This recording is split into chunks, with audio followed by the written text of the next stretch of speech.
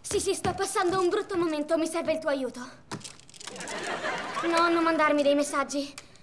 Per sbaglio ho lanciato il mio telefono contro il muro. Per dieci volte. Ok. Senti, sì, sì, è una cosa seria. Il mio sfogo da stress è un vero sfogo da stress. Ok, senti, quello che voglio dire è che io sono Rocky Blue e non posso farcela. Sai che c'è? Al diavolo la canzone, tu sei più importante. E adesso vieni a sederti perché se io ti parlerò, tu mi ascolterai. Io lo so che ti stai comportando ancora più follemente del solito per riuscire a entrare all'università di arte.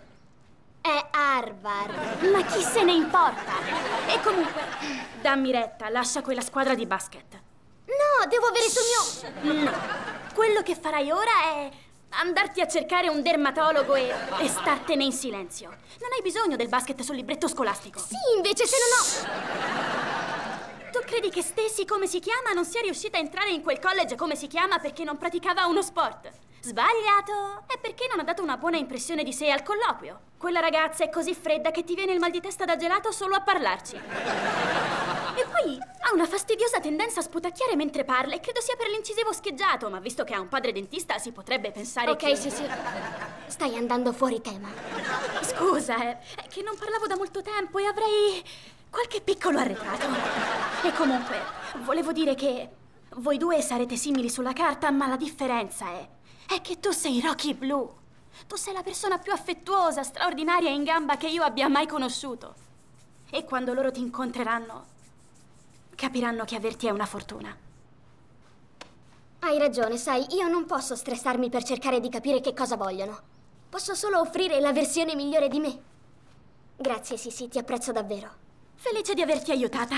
E ora, se vuoi scusarmi, di nuovo in silenzio iniziando da adesso. Oh, sì, perché devi risparmiare la voce. Per la voce e... perché io non sono mai stata così razionale prima d'ora e potrei tranquillamente non ripetermi. Molto bene. Questo regalo vale cinque mesi della mia paghetta.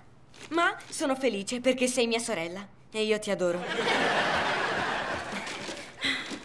Oh, andiamo! Rivolgimi la parola. Questo silenzio mi sta facendo impazzire. Flynn, ma di che stai parlando? Sì, si risparmia la voce perché deve cantare in trasmissione domani. Ehi, un momento. Quindi non ce l'avevi con me? Quindi ti ho scritto un poema, comprato un bel regalo e mi sono sentito tanto in colpa per niente? Non ti rivolgerò mai più la parola. Quanto tempo gli dai? 20 minuti al massimo.